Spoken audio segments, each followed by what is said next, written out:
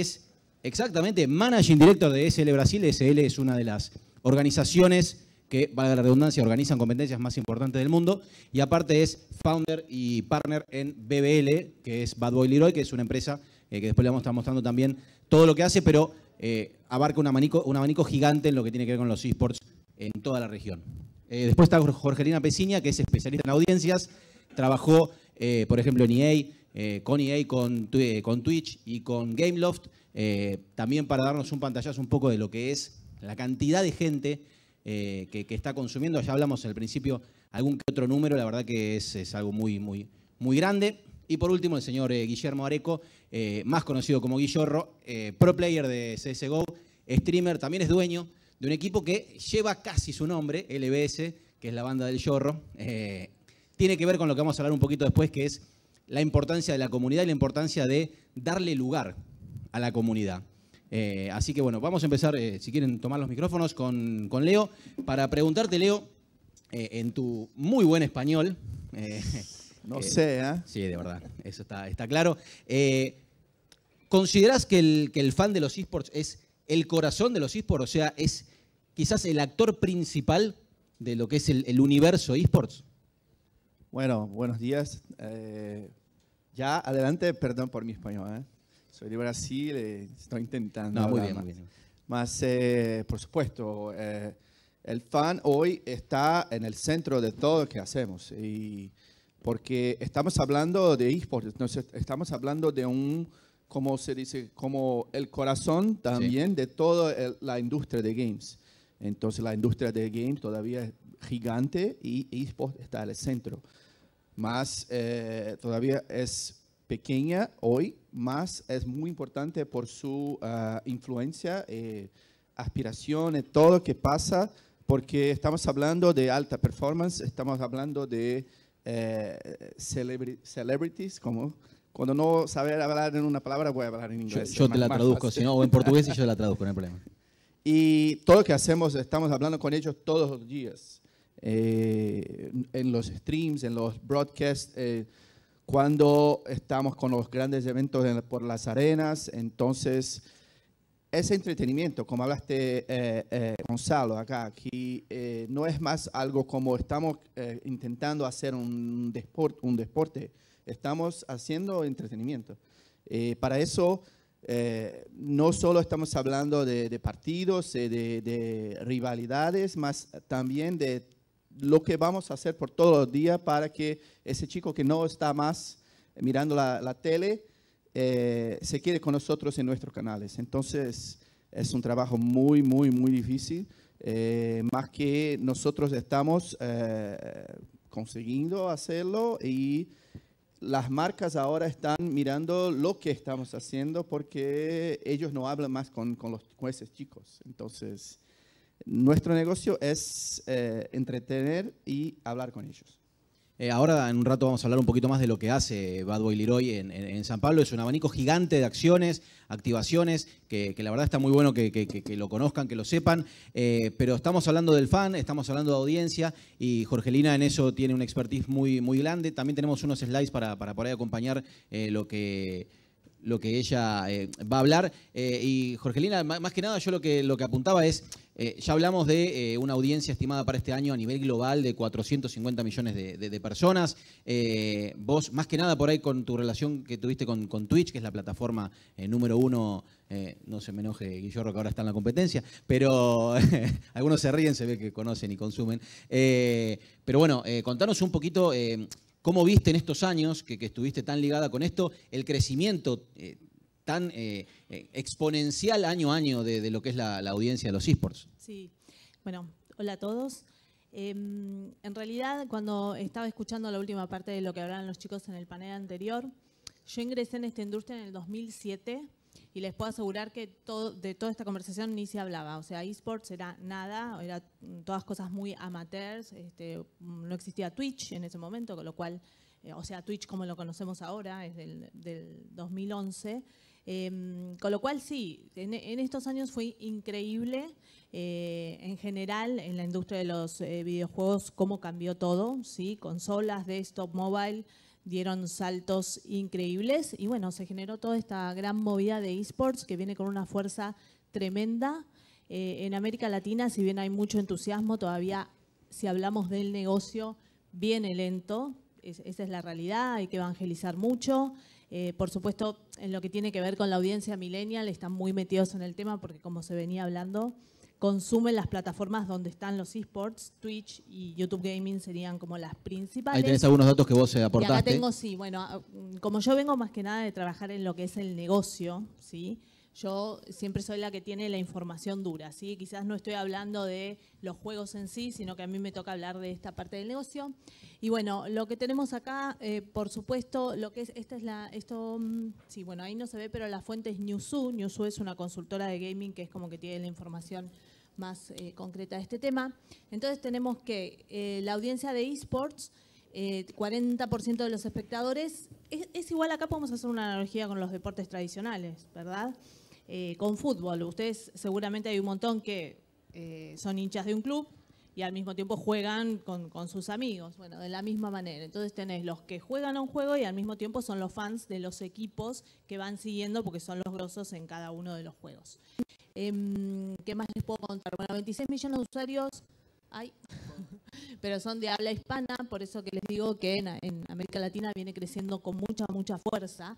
Lo que les falta todavía es el impulso de las marcas, que querramos o no, son las que van a mover este negocio y llevarlo a otro nivel.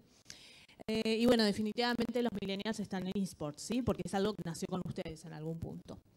Y en cuanto a edad, bueno, el rango es variado, por supuesto, el, foco está entre 16 y 44, capaz que estoy tapando el gráfico, pero es este que está acá.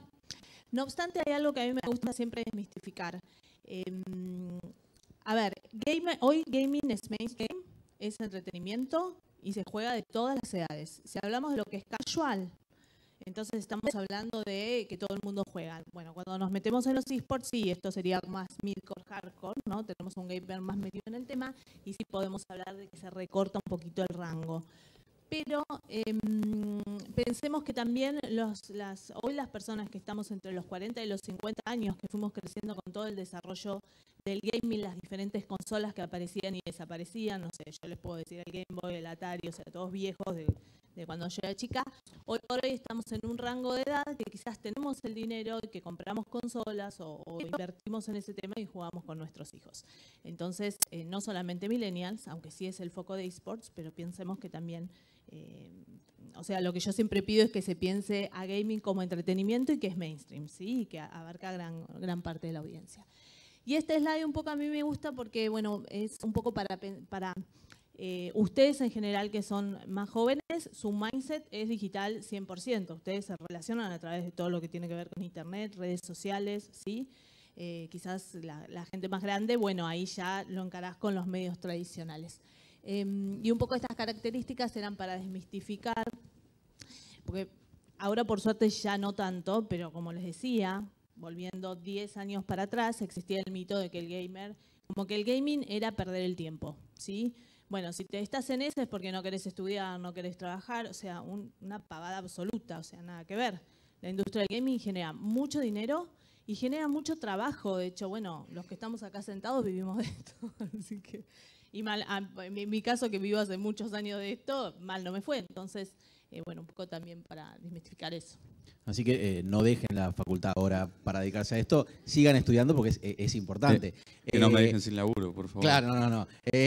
bueno, de nuevo, gracias a todos los que están acá. También, vale decirlo, estamos saliendo en vivo por el stream de la UADE, por Teis por Play, eh, y por el canal de Twitch y de, y de, perdón, y de YouTube de Player One. Así que eh, también muchas gracias a toda la gente que está conectada siguiendo esto. Vamos a estar hasta las 5 y media de la tarde. Eh, esperemos, si no se retrasa, que sea de ese horario. pero vamos a pasar con, como decías vos, la celebrity, si quieren, con el señor Guillermo Areco Guillorro, para los que lo conocen, lo siguen.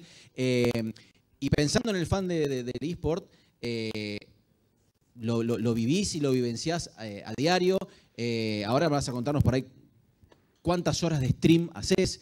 Eh, pero bueno, él, ha jugado en innumerable cantidad de equipos. Después vamos a poder charlar de, su experiencia porque es muy rica.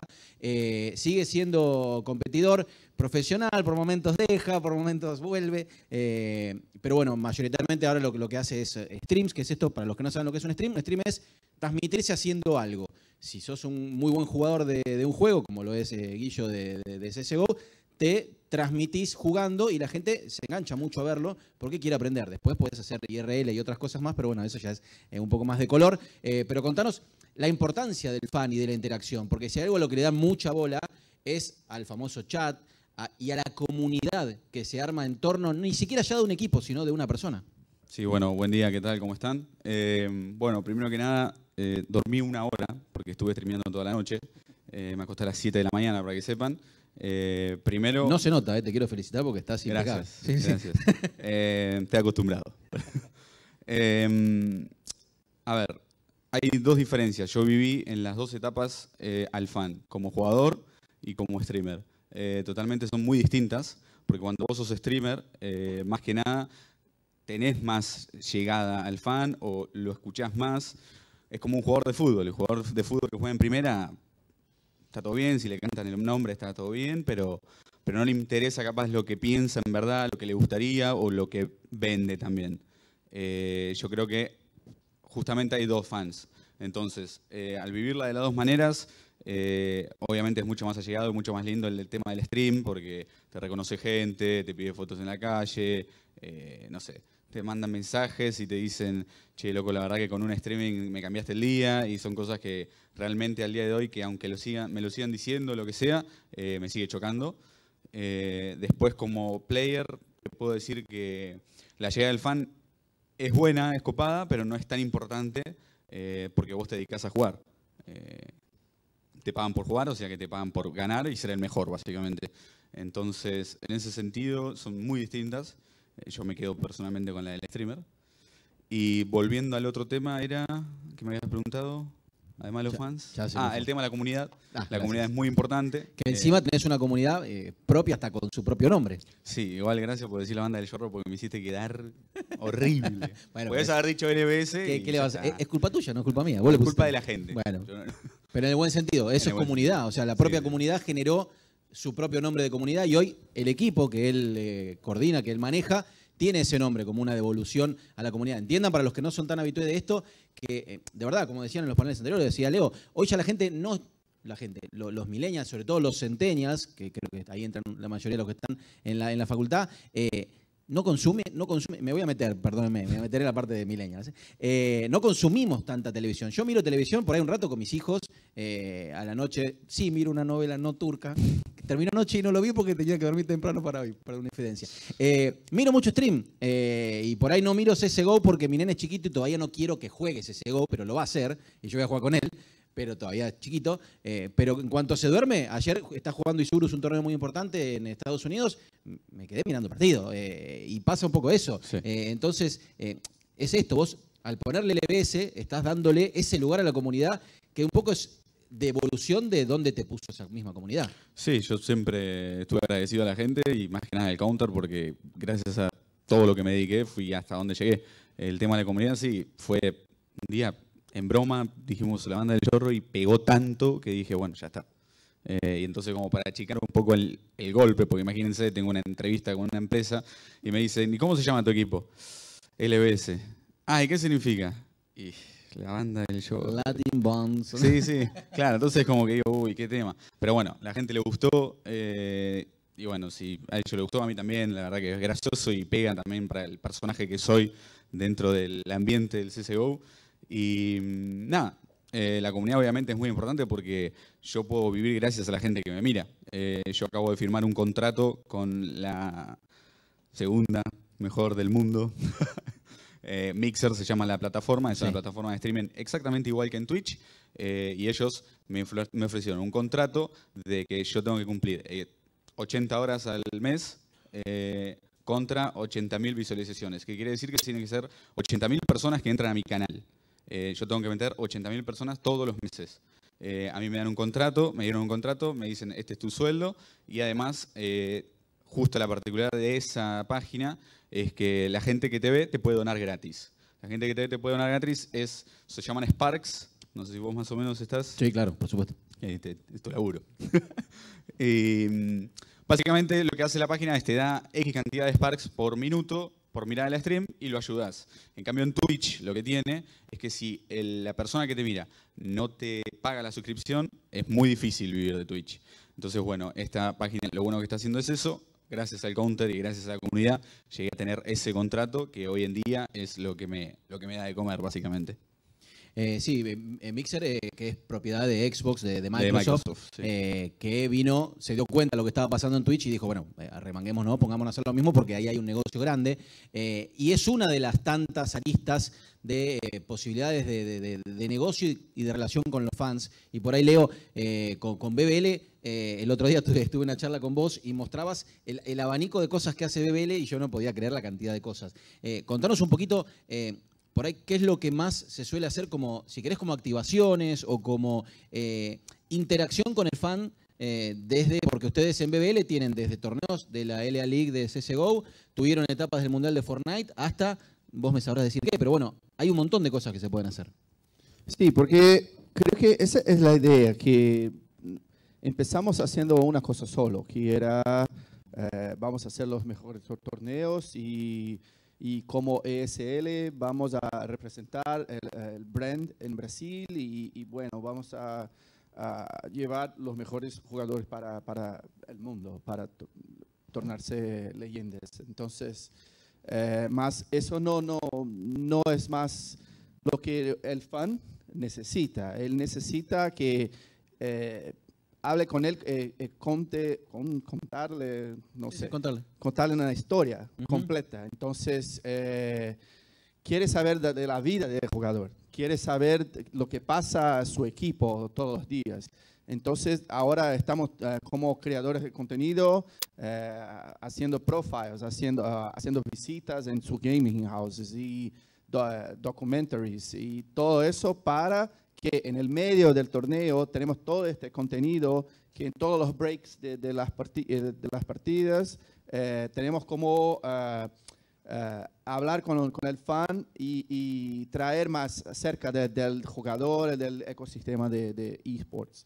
Entonces, eso es un cambio muy grande que, que pasó ahora con eh, nuestro, nuestro, nuestra industria. Y en BBL es eso. eh, con ESL tenía un equipo pequeña con casi con 10 personas y recibíamos todos de, de, de Alemania. Sí, ya Y todo ahora dicho. más estábamos eh, dejando muchas partes de- del ecosistema afuera. Entonces, con BBL ahora llegamos a una marca de 100 eh, eh, empleados, eh, que es una, un production factory casi. Entonces, estamos con ocho estudios en Brasil, con una arena para 300 personas y, y toda parte de producción para, y estamos haciendo muchas producciones para Latinoamérica también desde Brasil. Y con eso Y- ahora... Y tiene una empresa de fiestas. Y ahora, sí, ¿Qué tal la parte buena? Fiestas gamer. eso no pensaba, eso no pensaba. que iba a quedar siendo un, un- un dueño de la noche. Entonces, más es importante. Que encima es un horario ami- amigable para el que consume eSport, porque las competencias. Vos no, te pido por favor no, no participes en esta parte. Así te cuido. No, eh, la, la, parte, la mayoría de las competencias son de noche y la gente está muy acostumbrada a el gaming de noche, porque termina su jornada laboral, su jornada de estudio. Y con BBL queríamos mismo esta de, bueno, quiero hablar, eh, como hablamos de 360, con, con todo eh, eh, para, para for- fornecer. Eh, eh, 360, pensamiento 360 para las marcas, para los, eh, los publishers, porque, y con eso llegamos a una, una parte que, era, que es muy, muy, muy importante en Brasil, que eh, la, la vida fuera del juego de, de los, de los eh, no solo de los fans, but de las celebrities, de todo. Y conocimos la Party of Legends, que es la eh, mayor fiesta del de gamers que todos los influencers de Brasil se, eh, eh, se van y hace mucho tiempo, más era algo muy amador también. Entonces eh, hicimos la adquisición de- del IP y ahora estamos está mu- mucho mucho más mucho más grande Sí, mayor, más, más grande. Más grande está bien. En portugués Perdón, no, pero en perdón, español perdón, sí. Eh, más, más grande. nervioso acá. No, perfecto. Y con eso ahora estamos hablando con las marcas también para la fiesta. Entonces se puede hacer una activación con un celebrity por la fiesta y por la- el partido, y por la transmisión, y todo. Y bueno, estamos, estamos saliendo muy bien. Eh, traemos la fiesta gamer para Argentina, ¿no? Una edición, podríamos eh, traerla a, lo- a lo- a los... Ya, ya estamos en, en- Ah. en muchas ciudades de Brasil, Sí. no solo San Pablo, ya quedamos en Río. Y ahora eh, eh, tenemos una, una, una parcería con una empresa que hace todas eh, las viajes de formatura, de, sí, de formación, de formación de, de las, de las universidades. claro. Entonces, eh, ahora vamos, estamos hablando con casi 100 mil alumnos y en su viaje de, de- de formación Sí. Vamos a tener una Party of Legends con los gamers, y con todos en... en, eh, Ya, por ya la hay varios que plaza. dicen, ¿por qué acá no hay? Así que ya, Sí. ya va a haber fiesta de egresado, ahí ya levanta la mano, quieren. quieren. Eh, pero bueno, eh, volviendo por ahí, no nos vamos a desviar tanto del tema más a lo, a, a lo, a lo colorido. Yo quiero ir igual, ¿eh? No, no- en algún momento me vas a, me vas a invitar, le imagino. Eh, pero bueno, eh, pasa- pasando, pasando a la, bueno, para cubrirla, para, Somos viejos ya. pero para cubrirla, Leo, para Ya cubrirla. Me para, voy. para- Ya está. Hola, hola. ya cubrimos, ¿o no? Ya está. ¿Querés ir vos de notero, Guillo? Y ya está, voy yo. Vas vos. Ya tuve la experiencia. Sos el, sos especialista, tenés razón. Yo voy de camarógrafo, ¿puedo? Sí, está, está. Perfecto. Lo llevo a Straca. Bueno, Jorge, eh, contame un poquito también, eh, pensando eh, bien en el fan y en la audiencia, eh, y esto de que hablábamos antes de, bueno, ya eh, es, un, es un público que no mira la tele. Entonces, ¿cuál sería la misión del, del que quiere encontrar al fan? Porque lo que a mí me sale decir es, bueno, al fan hay que ir a buscarlo donde está, no es traerlo a donde vos querés que esté. Por tu experiencia es más, porque vos estuviste del lado de un publisher, trabajando junto con Gameloft, con EA, pero también del lado de una plataforma como es, como es Twitch. ¿Cuál creías, creías que sería la recomendación para una empresa de decir, bueno, yo quiero llegar a esa audiencia? ¿Cómo tengo que hacer? ¿Dónde está ese fan? Bueno, es lo más difícil, justamente porque, como dijiste vos, es, eh, generalmente dicen, bueno, los traigo a mi terreno, al terreno conocido, y la realidad es que esto es algo que se está creando en, en los últimos años, con lo cual, eh, bueno, un poco falta esto, ¿no? De que eh, las marcas que de vuelta son las que necesitamos porque son las que financian y son las que mueven la rueda para que los gamers puedan dedicarse a esto eh, de manera profesional y bueno, que, generen y que puedan vivir de esto, ¿no? Eh, bueno, es un poco eh, evangelizarlas mucho, mostrarles cómo es el tema, eh, pero sí, definitivamente tienen que ir a donde están los fans. Y los fans, este tipo de contenido lo consumen más que nada a través de, bueno, streaming. ¿No? 100% streaming, no solamente Twitch, también el que viene avanzando mucho es YouTube Gaming, ¿sí? Obviamente YouTube Gaming tiene una penetración por, en, en- en las casas por una cuestión de que tiene un montón de otros productos y quizás Twitch nació y se lo reconoce como este un servicio de streaming de videojuegos, aunque también está incorporando un montón de contenidos que no necesariamente tienen que ver con, videojuegos. Hay gente que pinta, que cocina, se, se emiten también series, o sea, como que cada vez va creciendo más. De vuelta, yo siempre me voy a la palabrita entretenimiento, porque esto está bajo el paraguas de entretenimiento, por eso, eh, por eso a veces se lo compara con lo que es cine, con lo que es música, y de hecho hasta genera más dinero, ¿sí? El gaming.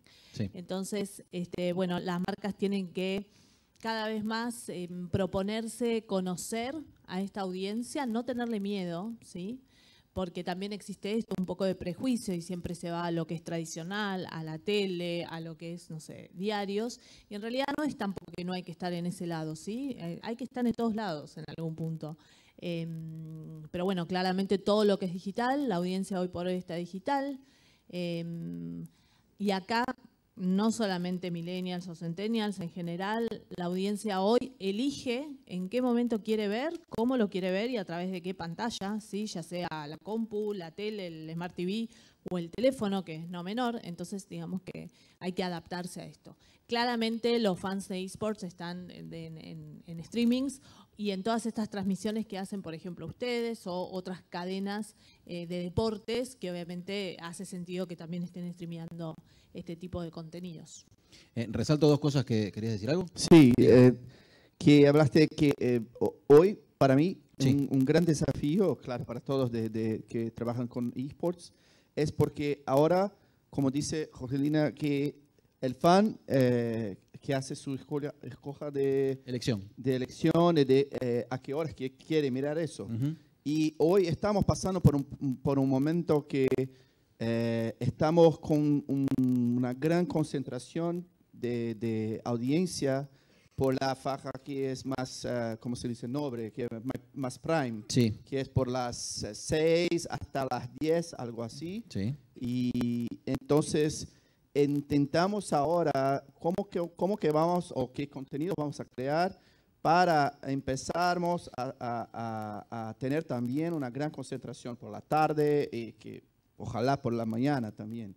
Porque en un momento queremos llegar en una- un contenido de eh, 24 por 7. Sí, claro. Entonces, más hoy es muy difícil, entonces principalmente eh, los, los gran partidos eh, están en, en el prime time y Ujú. también los grandes streams, eh, en la misma hora que los grandes streamers Sí. están en su casa y, y las personas que quieren consumir este entretenimiento. Y entonces, por, por los otros momentos, estamos empezando a hacer como los noticiarios, es todo, para casi como un warm-up para los partidos de todo lo que va por la noche. Claro, eh, complementar un poco la, la- la grilla. Hay canales en el mundo ya 24 horas de, de esports, sobre todo en Europa. eh, y quería quedarme con un par de cosas que dijo Jorgelina que, que me parecían buenas. El tema del revenue no es menor. La industria del gaming en su conjunto, ¿no? videojuegos más esports, eh, mueve más dinero que la industria de la música y que la del cine.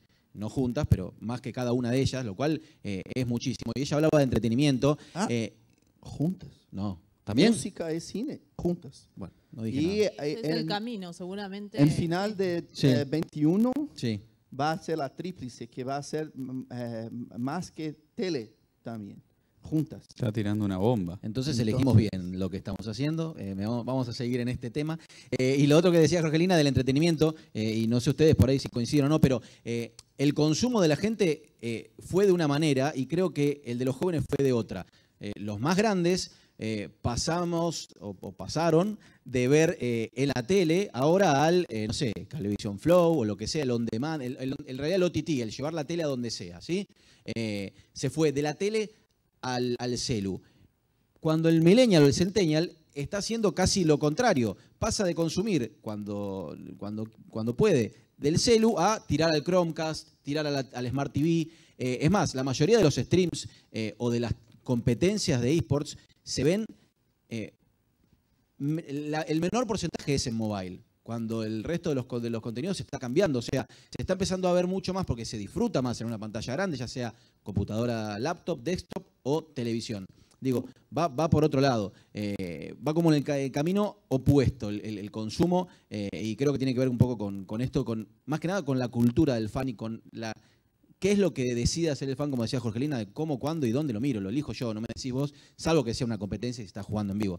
Y hablando de competencias, Guillo, eh, vos tuviste la, la suerte y la oportunidad de jugar tanto en Miami Flamingos como en Gale Force, dos equipos que jugaron en Norteamérica. eh, fueron los primeros equipos de, y hasta ahora los únicos. eh, después Miami se convirtió en Dólar, pero fueron, eh, digo, era el mismo equipo prácticamente, de, de un roster argentino, cinco jugadores argentinos jugando en Estados Unidos, que es uno de los mejores lugares de- de- del mundo con competencia más fuerte.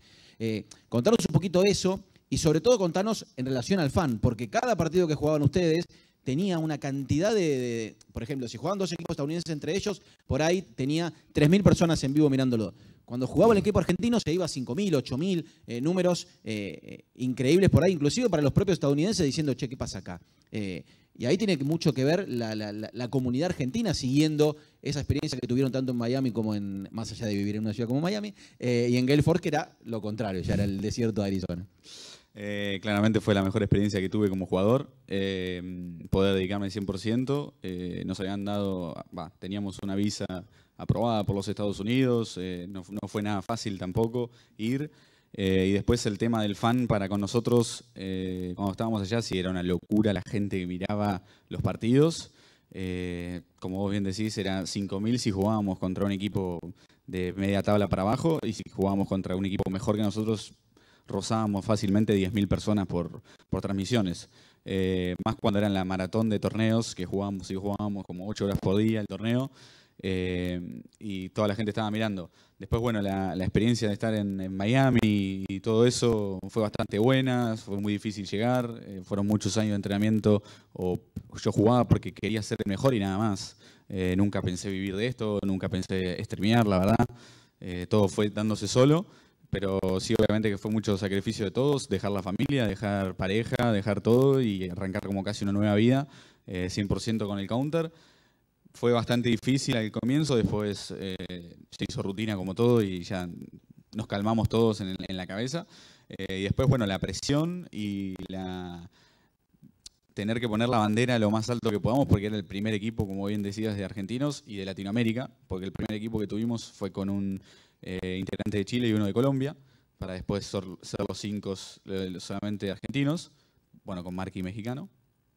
Y la verdad que la experiencia fue bastante linda, pero la presión de la gente a veces también jugaba mucho en contra. Eh, ayer justamente viendo a los chicos de Isurus, que son eh, compañeros nuestros de Argentina, que están en Estados Unidos jugando en Los Ángeles en estos momentos, si no me equivoco, eh, yo les decía, yo tenía alrededor de casi mil personas mirando el match en Mixer, y en Twitch había una 10.000 personas más o menos, la transmisión oficial.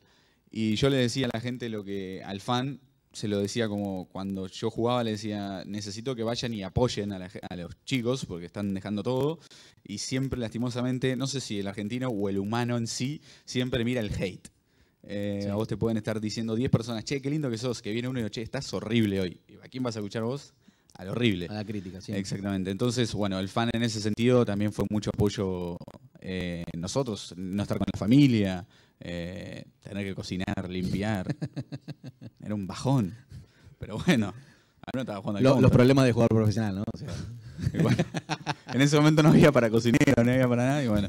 Pero nada, la verdad que la gente en ese sentido siempre ya. es un poco lo que hablabas de los dos fans. Está, eh, Claro. el fan cuando te mira competir y te va bien, es por ahí similar al fan que te mira en un stream. Todo bien, sos No, un genio. Yo para mí, el, el- el- Pero cuando digo, te va mal, ayer Isurus no tuvo el rendimiento que tuvo antes de ayer contra dos equipos top. Antes de ayer jugó un partidazo, eh, perdió, pero eh, jugó Contra un el partido top impresionante del mundo, contra creo. mi BR, que es uno de los mejores equipos del mundo. Y ayer perdió cómodo, no le fue tan bien contra otro equipo top 10. eh, y las críticas fueron muchas, eh, pero es natural. Nosotros lo conocemos desde Teis Sports general. Sí, y sí. pasa, nos pasó con la selección de fútbol, pasa con cada selección que cuando pierde son todo burro, hay que sacarlos. Cuando ganan, hay gente arriba. que critica a Messi todavía. que- Por Acá eso debe haber algunos, así que no lo digamos en voz alta. Eh, no, pero sí, básicamente eso. Es el, el apoyo que te da el fan como streamer, lo, lo expliqué antes, es muy distinto al de jugador profesional. Sí, claro. Y también el, el- lo que te genera a vos el fan, porque si a mí en el stream no me entra a ver nadie, no, no, no, digamos, no genero lo que tengo que generar, entonces no tengo mi contrato.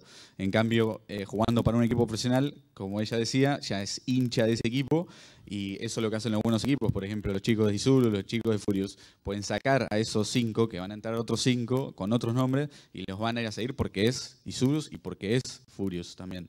Entonces es como Boca cambiando planteles, es lo mismo, Sí. o River. Eh, entonces, bueno, nada, el fan con el stream básicamente es mucho más que importante que cuando sos un jugador profesional.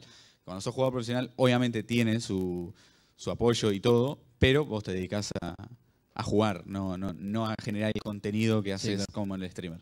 Eh, hablaba él de 80.000 reproducciones por mes que tiene que, que- que cumplir para Mixer y trazando un paralelismo, si bien es a lo largo de un mes, piensen que 80.000 reproducciones, 80.000 eh, televisores encendidos es un 0,8 de, de rating en televisión. Eh, Sport, para que ustedes piensen, el promedio mensual, 24 horas, es de 0,44-45. O sea que es un número interesante, está bien, es a lo largo de todo un mes, no es diferente, pero eh, está claro que esas 80.000 reproducciones son mucho más fidelizadas que un rating de 0,8 que puede haber en la tele, donde hay, televisores que por ahí quedaron encendidos, o no todos los que lo están mirando tienen tanto interés por esto. Eh, y esta pregunta por ahí la abro un poco para todos. Eh, ¿Cómo ven al fan en el futuro? Eh, no solo a, la persona, porque hay, dos cosas para pensar. Uno, ¿hacia dónde ven que va el consumo de esports? Si va a pasar alguna vez a alguna cadena de televisión o inclusive las cadenas de televisión van a desaparecer y se van a convertir como en Twitch. Digo, hay un montón de cosas para pensar. Y por otro lado, ¿qué piensan del que consume eSport hoy, que es centennial o millennial, cuando crezca? Eh, porque yo tengo mi, postura de que eh, va a seguir consumiendo lo mismo, por ahí cambiarán los juegos, pero el que es fan de los esports va a seguir siendo fan de los esports, más que nada con el crecimiento que va teniendo esta empresa, pero eh, esta, esta industria, digo. ¿Para dónde creen que van el fan como fan y como de la manera en la que consume los esports? Bueno, em, yo creo que hay, todavía está todo por hacerse, esa es la ventaja que tenemos. cuando hablaste de que mm, de cómo va a ser el, tema de si la, tele va a seguir eh, transmitiendo. No, eso se va a ir acomodando con el tiempo porque de vuelta volvemos al eh, yo elijo, ¿no? En vez de, de prime time es my time. Yo elijo cómo lo quiero mirar y va a haber momentos en que la audiencia lo va a querer mirar en, una plataforma, en una pantalla o en otra y eso realmente podemos ver tendencias, pero si miramos para atrás también cambió un montón en los últimos años, con lo cual em, yo creo que se va a ir adaptando, ¿sí? Y va a haber, eh, todos van a poder hacer su oferta y, adaptarse. Em, es una realidad que todo lo que es servicios de streaming y puntualmente, bueno, me, baso en lo que es videojuegos, está acá, vino para quedarse y va a seguir creciendo y cada vez va a dar más, eh, más cosas. Esto que decíamos de, eh, bueno, la aparición eh, de Mixer con más peso en, acá en Argentina y en la región, siendo que tiene que ver con Xbox, con Microsoft, que es justamente la consola más cara, entonces no tiene tanta audiencia porque es la más cara. Eh, pero bueno, es una, es em, lejos de yo, bueno, que vengo de trabajar eh, para Twitch, eh, no lo veo como una amenaza, lo veo como algo genial, porque eso quiere decir que esto está creciendo, entonces un player que venga y que empuje y introduzca otras cosas, genere contratos con los streamers, es genial, porque esto quiere decir esto está funcionando, cada vez va a haber más cosas, va a haber una competencia sana. Esto claramente es un signo que está creciendo y que vino para quedarse. No me quiero ir del tema porque yo siempre cuando me pongo a hablar tengo, después de tantos años, tantas cosas para comentar y siempre termino abriéndolo demasiado. Pero, eh, y en cuanto a, a ver, esto medio me gusta la pregunta esa de decir, bueno, a ver, el, el qué es el fan hoy, dónde va a quedar en unos años, dónde va a estar.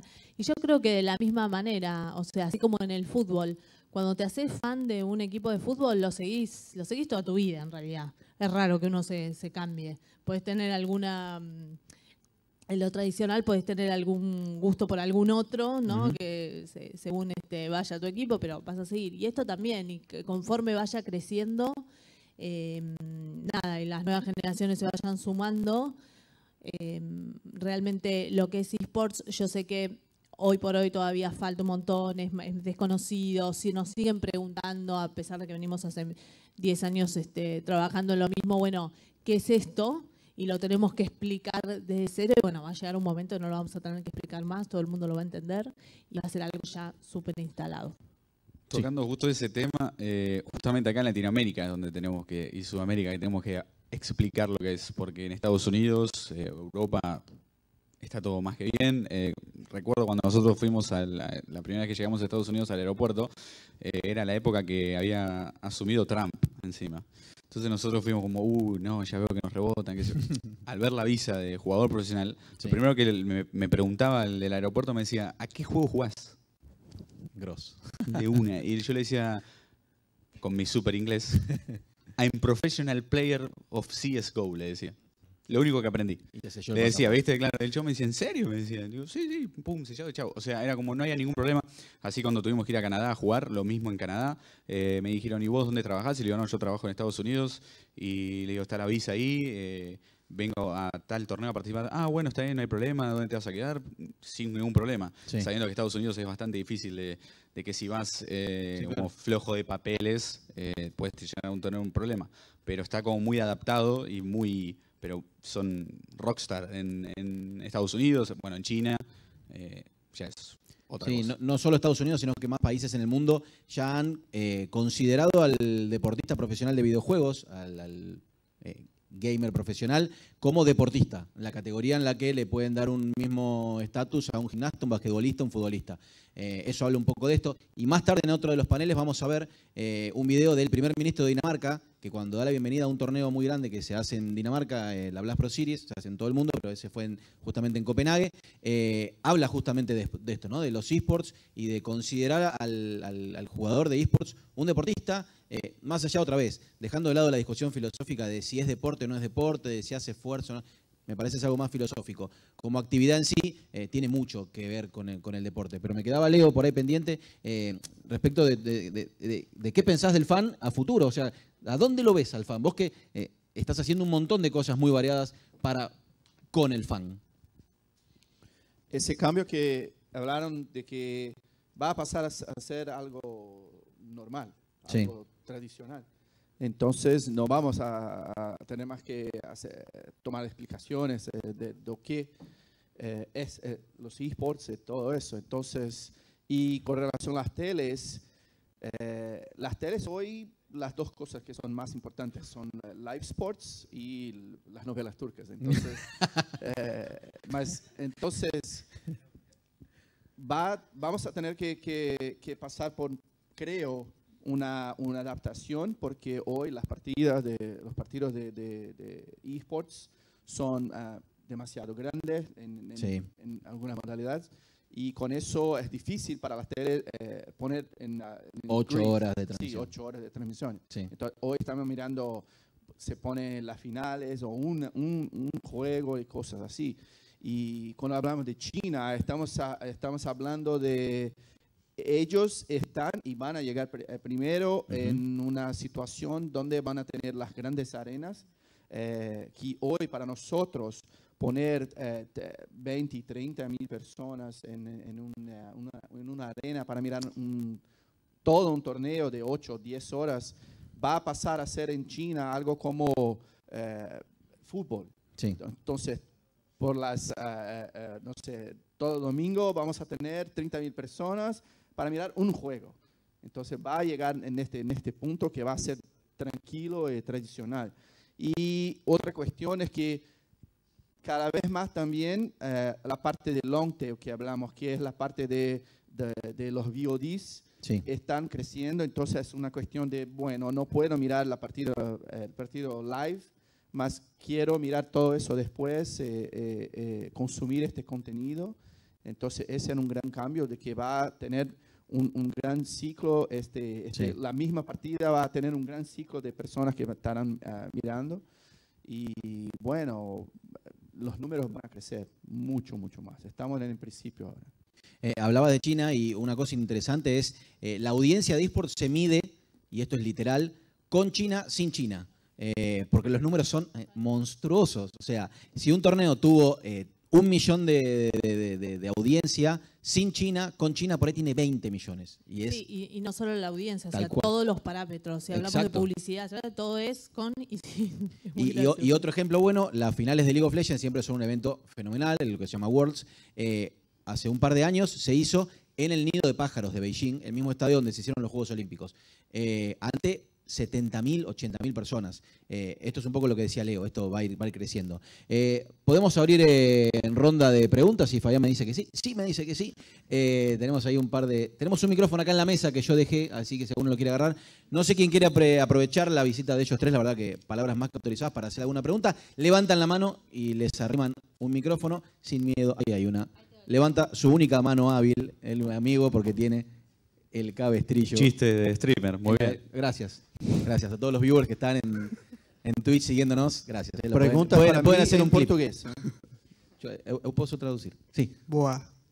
Eh, primero que nada, para, más que nada para los que son especialistas en números Sí. sobre eSports, ¿qué creen que le falta a la región, más que nada Cono Sur, no tanto Brasil, porque tiene un número mucho más grande y mayor cantidad de gente? ¿Qué le falta, por ejemplo, a competencias como la SL de acá, eh, de Counter y de un poco también de LOL, que es la LLA, para hacer un número bueno, como por ejemplo lo es España, que es solo España y aún así tiene mucha más gente que los mira. Bueno, para eso podría hablar algo como 10 cosas diferentes, más voy a hablar una solo que es inversión. Porque ustedes están y están listos para, para consumir eso acá en Argentina. Y más hoy otras cosas como eh, time zone, localización de todo, para que no solo eh, se, eh, podremos hablar con ustedes acá en Argentina, más también que los, chi- los chicos de Europa y todos est- estén eh, mirando online y más, más que nada inversión. Ah, en Brasil, eh, que se ha hablado, Brasil está más así, eh, es porque tenemos más cosas pasa- a, a pasar. Entonces, eh, Y eh, tiene más gente. más, bueno, sí, más en, en, muchas, en muchas transmisiones, eh, cuando se habla de Latinoamérica, no solo Argentina, no se queda mucho atrás. Entonces, eh, tuvimos ahora el Mundial de Free Fire, que de Brasil tuvimos casi como 400 mil CCUs eh, eh, simultáneos. Sí. Eh, más de Latinoamérica estaba a 300, entonces no, no era algo que Tanta diferencia, claro. tanta diferencia. Entonces, es inversión, eh, más empresas que están, estén eh, mirando esta región, no solo para hablar con Argentina, claro, más que desde Argentina hable con Latinoamérica, porque ahora estamos, es global, es digital. Entonces, no, es muy difícil eh, pensar que voy a hacer una, una acción si no es algo específico como una, una tienda, una promoción para, para, para Argentina, tienes que pensar como región. Entonces, ese, y ese es difícil todavía para nosotros de Brasil, porque miran pa- eh, eh, para Brasil como Latinoamérica también. Entonces, estamos eh, más y más eh, tenemos que hacer eh, en español, en, en- en- en- eh, también en portugués. Entonces, porque tenemos que pensar como región. Sí, yo en mi caso pienso igual, lo que falta es inversión, quizás a mí por, por mi rol y, y mi trabajo me, me toca sentarme con anunciantes, sí, que son los que tienen la plata, la billetera, para hacer que esta de vuelta, vuelvo con lo mismo, pero es real, que, que esta rueda gire. Eh, yo creo que bueno, estamos en un momento donde ya eh, es una discusión que está instalada, sí, está instalada, pero bueno, falta que se terminen de convencer. eh, y pero bueno, es, es también de la mano de la inversión que se van a poder generar mejores cosas y bueno, así va a ir creciendo. Pero definitivamente un rol más activo de las marcas, que hay marcas que ya están, ¿no? Metidas, eh, sé que por la tarde va a haber un panel de personal, ¿no? Sí. De que ellos ya están, entendieron que tienen que estar acá y otras que también, ¿no? De, de- de telefónicas que también están un poco viendo, pero bueno, están como medios tímidos, hay que seguir este, generando, quizás hacer el esfuerzo de mejores contenidos, cuestión de poder mostrarles que esto, como dijimos, es va a crecer, crecer, crecer, no hay forma, esto va para adelante sí o sí. Sí, a la tarde va a estar eh, Coca-Cola, va a estar Telecom, va a estar eh, también Intel, eh, mostrando un poco que hay, marcas endémicas, obviamente, la gente que trabaja con esto, eh, y marcas no endémicas que están empezando. Decían en el panel antes, Gonzalo hablaba de un montón de marcas y cada vez más. Hoy se anunció eh, una asociación también de un club de eSport con, por ejemplo, Miller Lite. Eh, y las empresas de cerveza, las automotrices. Hay una, en el último, los últimos dos, tres meses, en Estados Unidos, sobre todo en Europa, competiciones como Overwatch League y demás, están consiguiendo unos partnerships muy fuertes y esto esperemos que redunde en la región en algún momento. No sé si hay otra pregunta más por aquí. Gracias, Jorge. Sí, eh, creo que va más apuntado a Jorgelina la pregunta. Eh, hace un rato vimos unas gráficas donde vimos que más o menos el 80% del público eh, son hombres y el 20% son mujeres. Eh, ¿Hay alguna proyección en cuanto a, digamos, crecimiento, en cuanto al público femenino, más o menos de acá a dos años? Sí, ¿Cuándo se tiene que ver con, eh, lo- cuando hablamos, a ver, acá, acá una, sin irme por las ramas, voy a tratar de hacer una, una división, ¿no? Cuando hablamos del casual gaming, que tiene que ver con lo que eh, consumimos a través de dispositivos móviles, ahí estamos igualados, ¿sí? Hombres y mujeres prácticamente 50 y 50, y esto fue, se fue igualando durante los últimos años. Por una cuestión de, bueno, cualquiera que tenga un dispositivo móvil juega, y hoy todo el mundo tiene un dispositivo, hombres y mujeres. Cuando vamos al tema de, eh, y también tiene que ver la tipología de los juegos, ¿no? Que hay, eh, como digo yo, para todos los géneros, todos los gustos, o sea, tenés todo, tenés de carreras, eh, deportes, que obviamente los, lo- quizás en FIFA lo juegan más eh, los hombres en el mobile que, las mujeres, y las mujeres vamos a un Bejeweled, un, un Plants vs. Zombies, que es más, digamos, del, del, gusto. Cuando pasamos a lo que tiene que ver con Midcore Hardcore Gamer, que es justamente de esto que hablamos, ¿no? de los esports, eh, bueno, ahí generalmente los juegos tradicionalmente so- son, son más masculinos, ¿sí? Tenés el Counter, tenés, bueno, eh, el LOL, son juegos más de hombres. Pero lo que vino a cambiar, ¿sí? eh, con este tema tiene que ver justamente con Fortnite. Fortnite es un juego que, bueno, eh, incorporó un montón de cosas del casual gaming y una de esas cosas fue abrirle la puerta a un público más masivo, entre ellas las mujeres. Entonces tenés que en el hay, hay muchas mujeres. No obstante, esta tendencia va a ir cambiando, pero va a ir cambiando en estos años que vienen. Em, no sé decirte en qué momento va a haber 50 y 50, pero así como lo vi que suceda con, con mobile, tranquilamente puede, puede suceder. También puede haber que los publishers, de repente alguno se despierte y haga, ¿no? También a tono con, con la nueva digamos, con todos estos temas que estamos hablando de igualdad de género, etcétera, que de repente pueda generar juegos que, que también reflejen esto. Bueno, esto ya es eh, teléfono para, o WhatsApp, porque el teléfono es medio viejo, pero el teléfono para los publishers de que, bueno, vayan incorporando contenidos así. Eh, en uno de los paneles de la tarde se va a hablar un poco también de lo que es eh, género esports. en esta conferencia inclusive tenemos la verdad eh, bastante presencia femenina, lo cual nos pone muy contentos en una industria que no hay tanta mujer participando. Eh, por lo menos en esta conferencia hemos logrado. Y hablando un poco de eso, también está ahí gente de Isurus Gaming, Cala, que para el próximo eh, panel es uno de los equipos que tiene un equipo femenino de CSGO. y muy bien le va al equipo femenino de Isurus Gaming en lo que es CSGO. También está Malvinas, pero digo, hay esports femeninos, pero obviamente la, relación es menor. Nos creo, creo que tenemos para una pregunta más, por allá. Sí, eh, gracias. No sé para, para quién, eh, vos recién preguntabas por la evolución del fan. ¿qué, ven en cuanto a evolución de la tecnología en términos de plataformas, en términos de, bueno, de, streaming o de lo que sea? ¿Cómo eso va a venir a agregar algún cambio en, en lo que es hoy el negocio o la actividad? No sé quién quiere bueno, yo, yo creo que mm, también. Em, no, no, ni lo sabemos. Te voy a ser súper sincera. O sea, viviéndolo, estos, yo desde el 2007 que estoy trabajando en la industria, todos los cambios que vi, que ni nos imaginábamos, todas las cosas que aparecían, sistemas operativos, este, que aparecían y desaparecían y cómo todo fue cambiando, o sea, eh, no hay límite, no hay límite. De repente pensar, ahora están estas plataformas de, juegos donde ya necesitas una consola porque directamente puedes jugar eh, con, tu, Smart, TV. Eh, era algo que nadie se lo imaginaba que iba a suceder y, de repente sucede.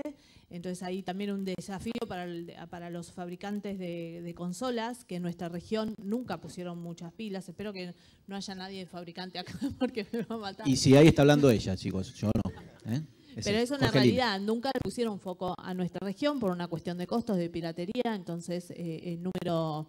Una, una cosa, lo que yo siempre digo en mis reuniones es: una cosa son las grandes ciudades, donde nosotros sí tenemos acceso a tecnología y siempre hay uno que tiene la Play, la Xbox o, u otra consola.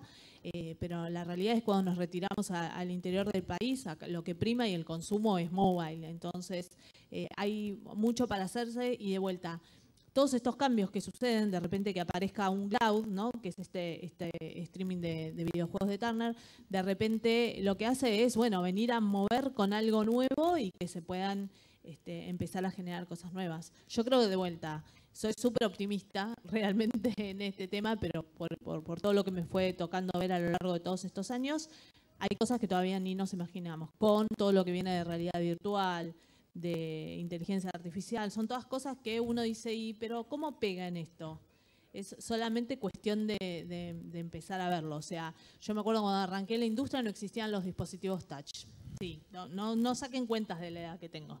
Pero um, no existían, no, no existía el iPhone. Entonces, imagínense, y hoy quién, o sea, uno piensa los videojuegos se hicieron ahí, no, no se hicieron ahí, se hicieron hace mucho más años con con las consolas que hoy uno las compra para tenerlas casi eh, vintage en casa y tenerlas como algo. Así que yo creo, soy muy optimista, todavía ni nos imaginamos las cosas copadas que pueden llegar a venir. Eh, pienso que ahora estamos en un momento de, eh, que estamos pensando cómo hacer la monetización.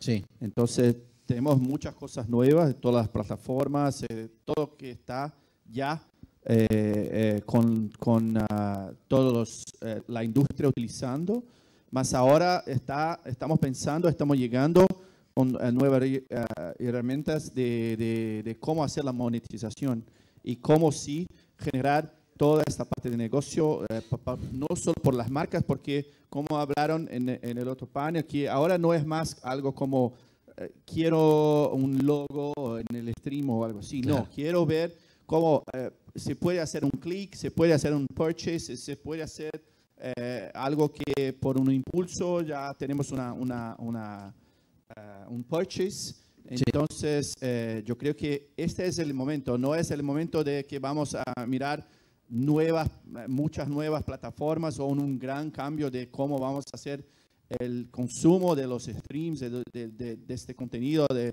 de esports, más sí cómo vamos a monetizarlos.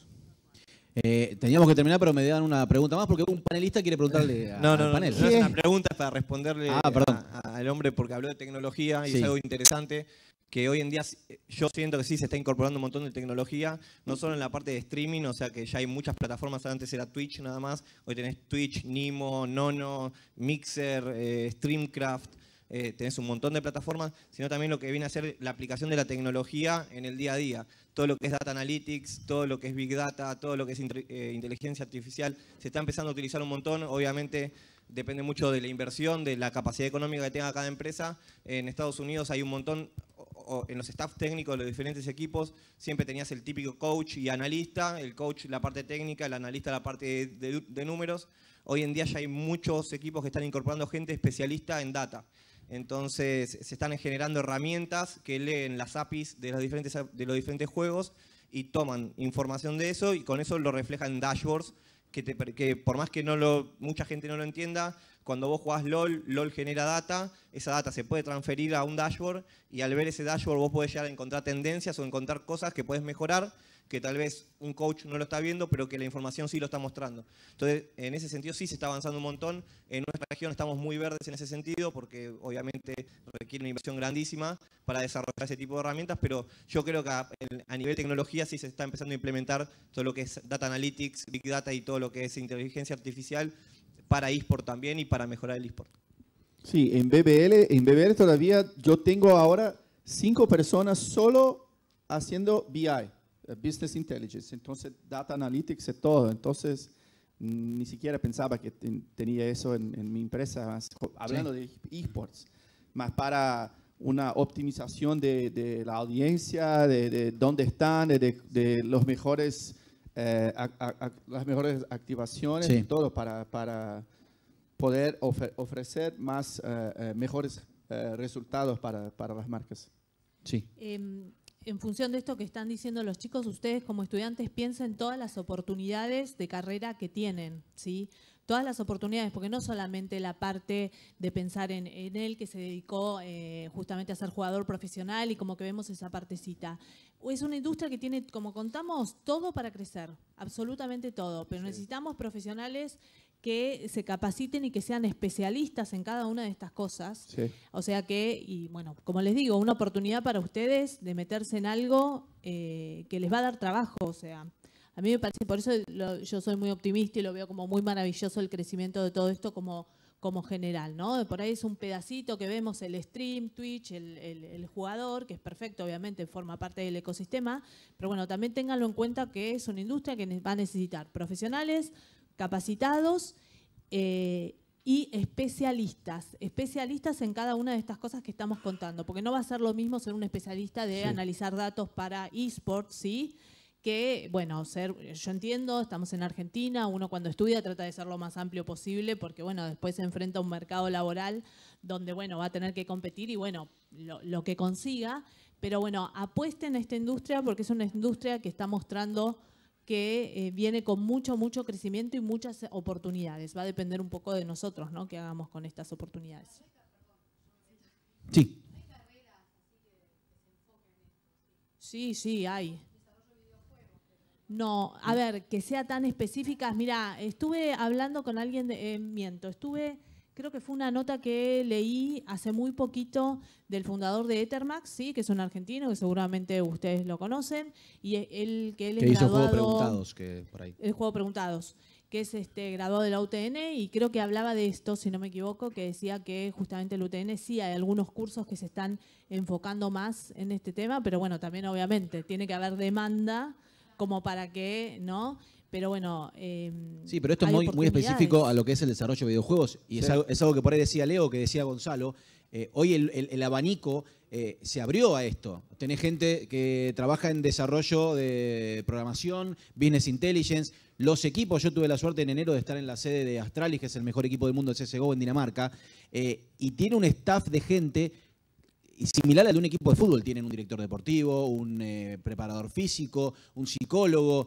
Eh, hay un montón de profesiones eh, no inherentes al desarrollo de videojuegos que hoy participan en el ecosistema. Eh,